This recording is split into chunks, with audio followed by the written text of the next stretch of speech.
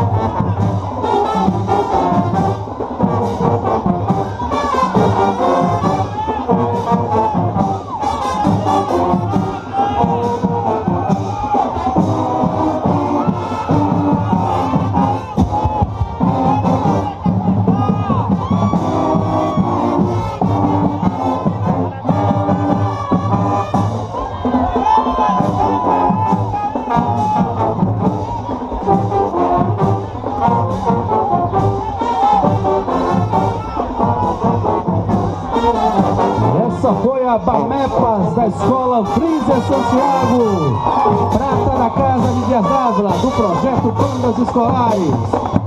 Vamos aplaudir Bamepas, banda da Escola Professora Frísia Santiago.